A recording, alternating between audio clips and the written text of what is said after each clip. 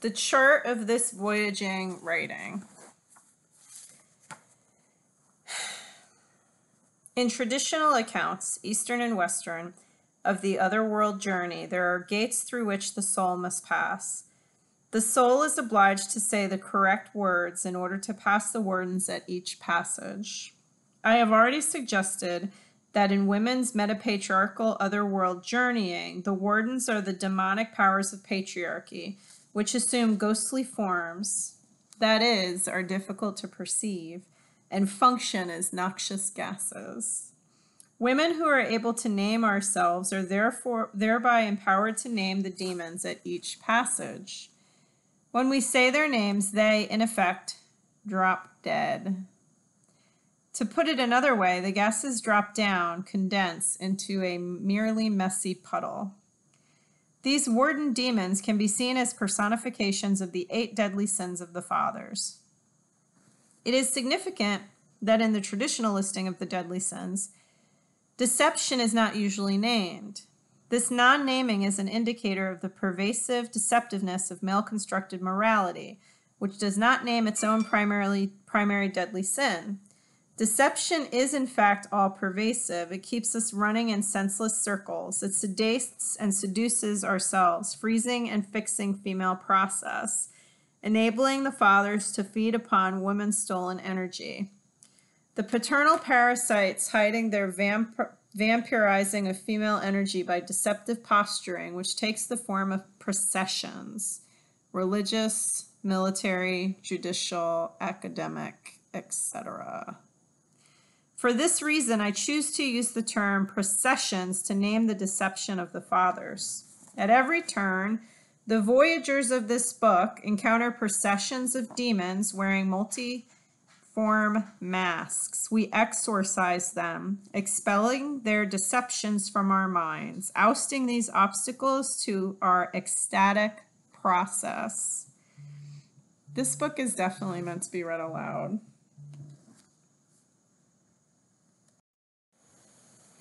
Processions both display and disguise the deadly sins of the fathers. The deception they engender glues the sins into conglomerates, reversing them, representing them as virtues. The following list, which is not accidentally, which not accidentally may resemble a sort of incantation, is a new naming of the eight deadly sins of the fathers. Although any listing is necessarily linear, it is clear that these malfunctions, malfunctions, are interconnected, that they feed into each other. Processions.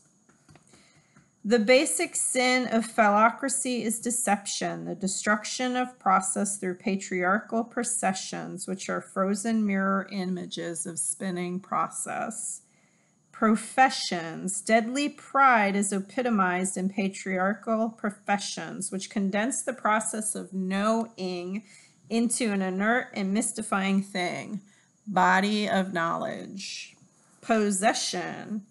Androcratic avarice is demonic possession of female spirit and energy, accomplished not only through political and economic means, but more deeply through male myth aggression, the ma- malevolence of male violence, which is in fact usually dispassionate, is misnamed anger, ma- masking the fact that women are the enemy against whom all patriarchal wars are waged and muting righteous female anger.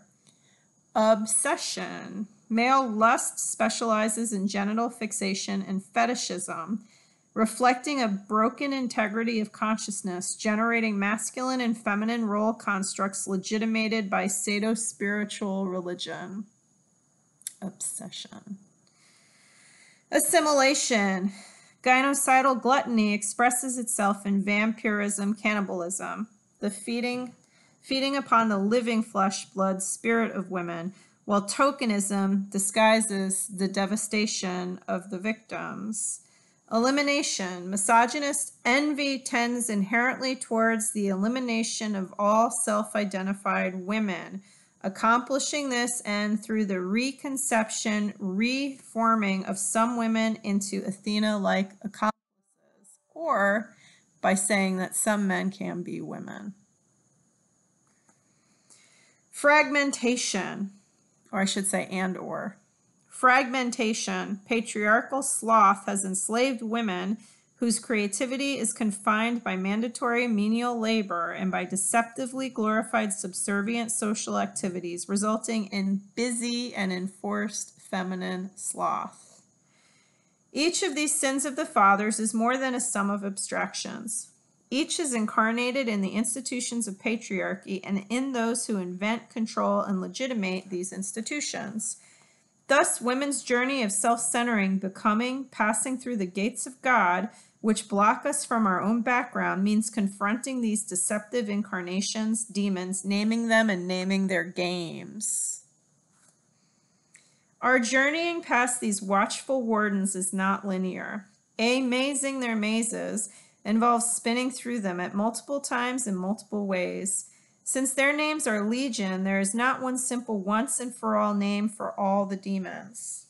Their lecherous litanies are like passages of unholy scripture which they repeat over and over again and which have become which have many levels of deception not perceptible all at once. They become more perceptible as we learn to name ourselves, become ourselves more adequately.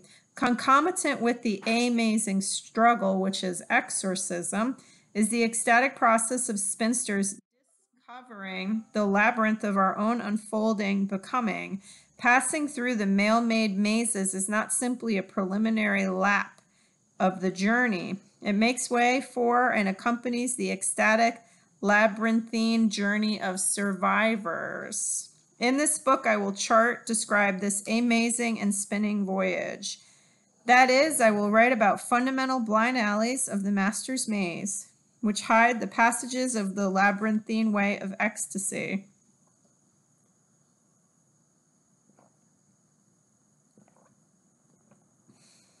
I will be concerned with discovering the Father's processions and with breaking away from them. The voyage will involve encounters with the other seven deadly sins, demons, as well. These encounters are recurrent and in random order as the demons appear and reappear at various points, attempting to block our way. The voyage of this book moves through three passages. As the terrain changes, so also does the style of the explorer, her movement, her language. In the first passage, there is an exuberance of discovery as the voyager breaks through the barriers of obsolete myths which block vision. There is the constant surprise of seeing what is on the other side of the hill, and on all sides is the scope of vision, and on all sides as the scope of vision broadens and deepens. In the second passage, there is a soberness and focused attention as the explorer encounters the unnatural enemies of female being in their multiple postures of indecent exposure. There is a focused intensity as she marks the snares laid by the deadly game trappers, analyzing the archetypal atrocities in order to unmask the lethal intent of the death dealers. My dog is growling. In the third passage, having perceived the intent of the gynocidal gamesters, she moves deeper into the other world which is her own time, space. Her style reflects her newfound capacity to recognize their intent in its seemingly innocent and chillingly familiar manifestations. Their chivalry, their help, their care, their art, their romance, their respect, their rewards, their blessings, their love. This new knowing, her beatific vision, encourages her to invent new modes of being, speaking, which are spooking, sparking, spinning. My charting and describing is inspired by many Foresisters. Since all who have embarked on this journey are contemporaries, in the only sense that matters, the century or span of decades measured by patriarchal time in which his history places each of us is far less relevant than our own network of communication. All women who define our own living, defying the deception of patriarchal history, are journeying. We belong to the same time and we are foresisters to each other. Here in this volume, my charting and describing is inspired in a particular way by the words of one foresister, Virginia Woolf. who, in her profoundly anti patriarchal book, Three Guineas, asks, What are these ceremonies and why should we take part in them? What are these professions and why should we make money out of them? Where, in short, is it leading us, the procession of the sons of educated men? In this prophetic book, published in the 1930s, she shows connections among the absurd professional processions, displaying their deception, their morbidity, and meaninglessness. She advises us to break the ring, the vicious circle, the dance round and round the mulberry tree, the poison tree of intellectual harlotry. The circle of professions and pr- the circle of processions and of professions is linked to possession. Of women's dilemma, she writes Behind us lies the patriarchal system, the private house with its nullity, its immorality, its hypocrisy, its servility. Before us lies the public world, the professional system with its possessiveness, its jealousy, its pugnacity, its greed. The one shuts us up like slaves in a harem. The other forces us to circle like caterpillars head to tail, round and round the mulberry tree, the sacred tree of property. It is a choice of evils. Each is bad. Yes, and each is part of the same system of patriarchal possession whose primary property is female life.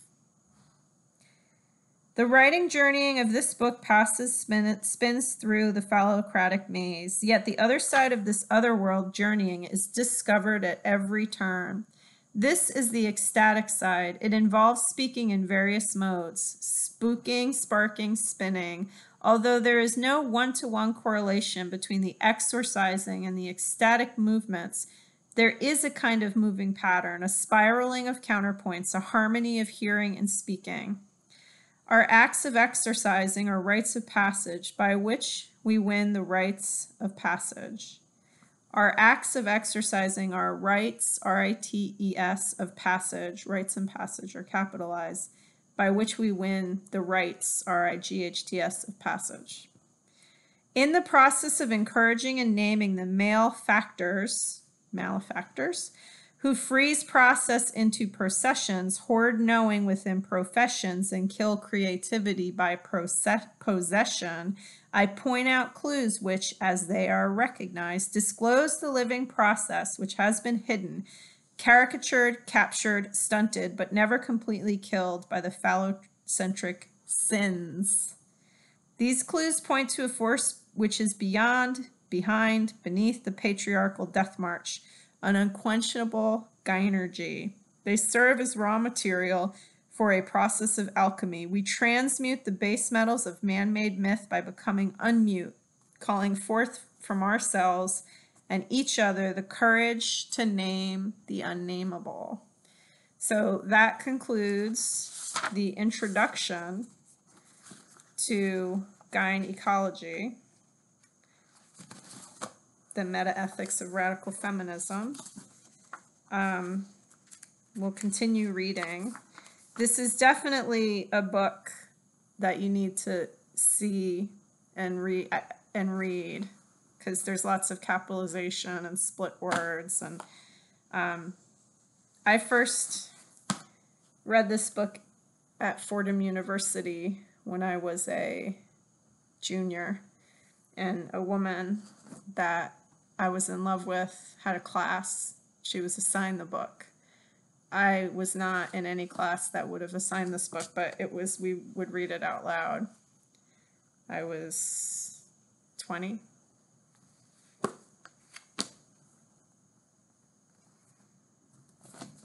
I just want to point out Mary Daly. She's wearing a Virginia Woolf shirt. Okay, so that's it for now.